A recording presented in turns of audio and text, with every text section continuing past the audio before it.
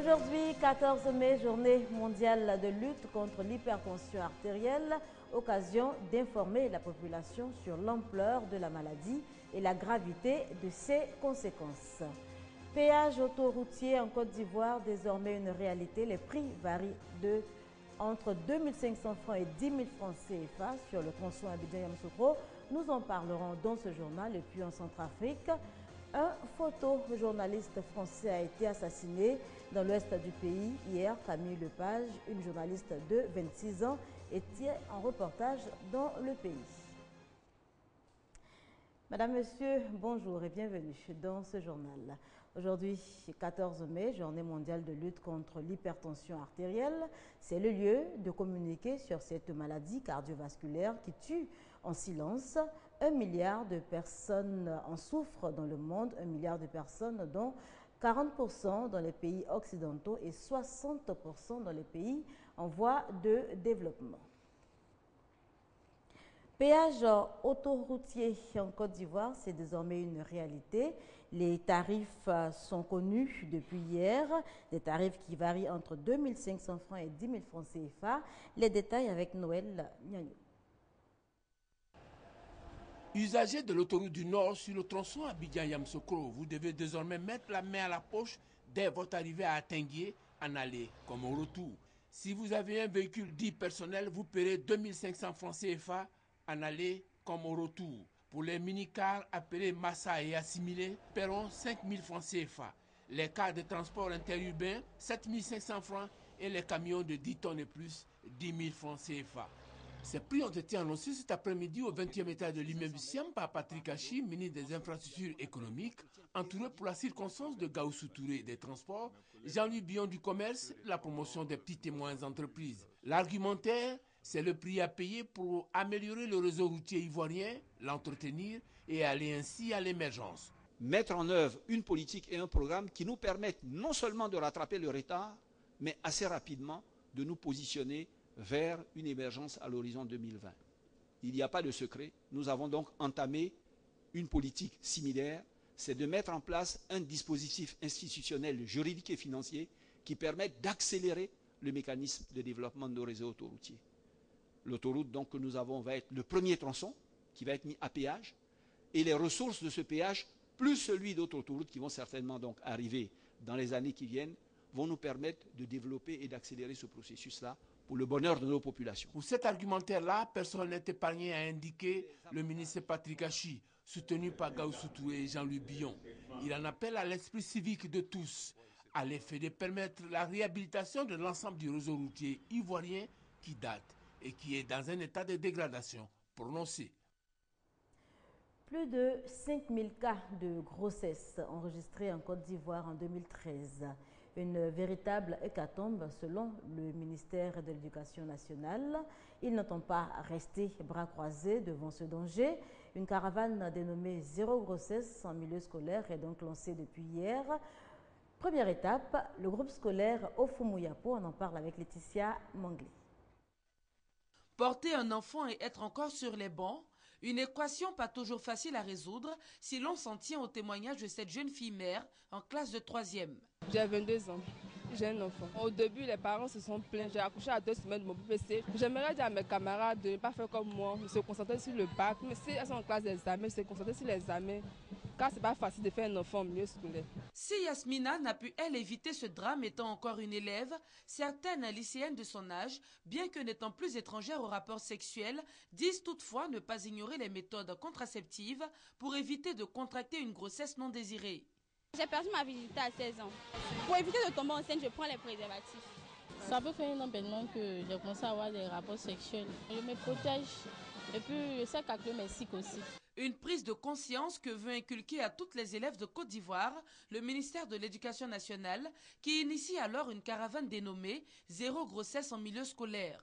Il s'agit là d'un véritable travail de coupeur de route parce que euh, le destin d'une fille qui va euh, à, l'école, c'est d'aller au bout de, de, processus et non de s'arrêter en si bon chemin. Quand c'est des élèves, par exemple, garçons, ils continuent de venir à l'école alors que leurs sœurs n'ont plus souvent la possibilité de revenir en classe. C'est donc un véritable fléau qu'il faut combattre. La caravane zéro grossesse en milieu scolaire a pris son départ au groupe scolaire au Fumuyapo de Yopougon. Elle va sillonner les établissements scolaires du district d'Abidjan et vise à livrer un cours magistral aux élèves sur les dangers liés aux grossesses en milieu scolaire. Deux unités de production d'atiéké et de tomates pour les populations de Songon, un cadeau du chef de l'État. Ces projets devraient profiter à environ 2000 jeunes et femmes de la commune. Eh bien, le gouverneur du district autonome d'Abidjan a procédé hier à la remise officielle d'une de ces unités de production.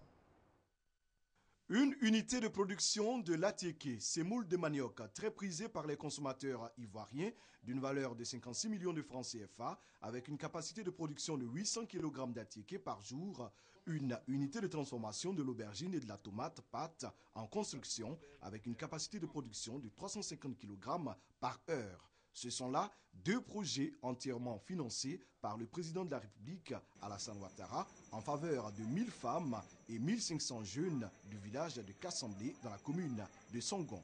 Objectif lutter efficacement contre la pauvreté. Ce type de projet permet de partager la richesse de la Côte d'Ivoire directement. Quelquefois c'est direct, quelquefois c'est indirect, mais la, réalité est là, ça impulse le développement. Et après Songon, la prochaine unité c'est ça Benjervine. Après Benjavi, nous irons à Nyama. Après à Nyama, nous allons à Bourfodoumé. Ça fait quatre. Et il y a trois autres unités qui, sont, qui seront installées dans la commune de Cocody, où on est dans des grands consommateurs d'Atcheke. Et ce sera à Nono, Mbadon et Mputo. Donc au total, nous aurons sept unités de grande production de l'Atcheke de grande, grande, grande qualité. Saluant ce geste, les bénéficiaires souhaitent voir les efforts du chef de l'État s'étendre à d'autres projets. Ça nous fait plaisir parce que c'est une chance, une opportunité qui nous est donnée. Nous voulons des marchés pour évacuer. Sinon, si c'est de la c'est fait, il y, en a, trop même. Les revenus de la production d'atiké de qualité en grande quantité vont permettre de financer d'autres activités génératrices de revenus à Songon qu'Assemblée. C'est un mécanisme de partage des richesses. C'était un reportage signé Serge Koléa, avec qui on reste pour dire que le cinéaste Sidiri Bakaba sera bientôt de retour en Côte d'Ivoire en visite de travail en France. Le ministre de la Culture, le ministre Badama Maurice, a rencontré l'homme de culture avec qui il a abordé le sujet, un sujet qui tient particulièrement à cœur au chef de l'État. Le ministre de la Culture et de la Francophonie, Maurice Kwaku Bandaman, était porteur de deux messages du gouvernement à Sigiri Bakaba. D'une part, a-t-il dit, le gouvernement invite Sigiri Bakaba à rentrer en Côte d'Ivoire après ses soins et sa convalescence pour apporter sa contribution au processus de réconciliation en général et dans le milieu des artistes en particulier. Le gouvernement a ajouté le ministre Maurice Kwaku Bandaman invite Sigiri Bakaba à faire partie de la délégation officielle de la Côte d'Ivoire au Festival de Cannes. J'ai tenu à le rencontrer pour euh, lui dire euh, le message du président de la République, les amitiés du chef de l'État à son jeune frère Sigiri Bakaba, une personnalité du monde de la culture qui a fait connaître notre pays à travers son talent, à travers son génie et qui malheureusement, depuis quelque temps, est loin de nous. Le chef de l'État a engagé le processus de réconciliation nationale et en tant que ministre de la Culture, j'ai en charge le volet du retour de nos artistes. L'ancien directeur général du Palais de la Culture, Sigiri Bakaba, s'est dit honoré par cette démarche du gouvernement. Je suis vraiment, on dit content, tout simplement je suis ce qui se passe dans mon pays et ce que j'apprécie le plus, c'est ce processus engagé de, pour aller vers la réconciliation. Nous n'avons pas le choix. Nous devons nous réconcilier. Sidiki Bakaba se dit prêt à répondre favorablement à l'appel du gouvernement. Sidiri Bakaba qui sera donc certainement de la partie, on va, je veux dire, de cette 67e édition du Festival de Cannes, la fête du cinéma, qui s'ouvre ce soir même en France. Parlons environnement à présent avec cette conférence de presse sur le lancement du concours national des villes et villages verts et fleuris. C'est avec Koné Pargassoro et Serge Oléa. La question de la pollution et de l'insalubrité des villes et communes de la Côte d'Ivoire est une réalité et elle inquiète. Les populations souhaitent une meilleure gestion des ordures ménagères. Les mairies, pour permettre justement que la salubrité puisse être de mise, peuvent par exemple euh, déposer des poubelles à chaque point de rue pour permettre justement aux passants de ne pas avoir à jeter les déchets et tout euh, dans les rues, pour les maintenir propres. Pour lutter contre toute forme d'insalubrité, de nuisance et de pollution, l'association Territoire et Paysages de Côte d'Ivoire initie un concours national annuel des villes et villages verts et fleuris. Nos villes manquent d'espace vert. Le cadre de vie de nos villes euh, est malsain, entre griffes. Donc, euh, on a organisé ce concours pour sensibiliser les populations, pour sensibiliser les élus à la culture de la verdure, à la culture de l'aménagement agréable. Échangeant avec la presse, le président de l'association Territoire et Paysages de Côte d'Ivoire fait savoir que pour cette première édition, 26 villes, chefs-lieux de districts et communes ont été sélectionnés. Objectif inciter les responsables de ces collectivités locales à introduire la verdure dans l'amélioration de leurs territoires par la création des parcs et jardins, mais aussi par le planting d'arbres le long des rues. Des caravanes de l'environnement, dites caravanes vertes, seront également initiées. Tous les efforts déployés par les participants seront soumis au jugement des populations qui s'exprimeront à travers une tribune. Hors de chez nous, l'actualité nous conduit d'abord au Nigeria où la cause des jeunes lycéennes enlevées continue de mobiliser, mobilisation internationale contre donc la secte islamiste Boko Haram qui a revendiqué le rapt massif du 14 avril dernier. C'était donc il y a un mois, jour pour jour alors que le pays est survolé par des avions américains en vue de retrouver ces lycéennes, des manifestations se multiplient à travers le monde. Les mots fusent dans l'enceinte de l'ONU à propos du Nigeria. Boko Haram est une organisation moralement répugnante. Nous les condamnons dans les termes les plus fermes. Un acte qui a choqué les consciences du monde entier. Lâcheté, sadisme, ignorance et mort. Mais tous ces mots ne suffisent plus à calmer la colère des Nigérians. À Lagos, un groupe de femmes a promis d'organiser des marches semblables à celle-ci sur leur route vers Chibok, où les lycéennes ont été enlevées. Au bout de ces 14 jours de marche de protestation à travers le pays, si rien n'est fait, Dieu nous pardonne, chacune d'entre nous manifestera à Chibok à demi nu. Nous irons là-bas, nous sommes prêtes à sacrifier notre vie. La mobilisation a démarré sur les réseaux sociaux. Aujourd'hui, elle est dans la rue, dans de grandes villes, comme ici à Paris, mardi, avec deux anciennes premières dames françaises. En échange des jeunes filles, Boko Haram a réclamé la libération de prisonniers islamistes.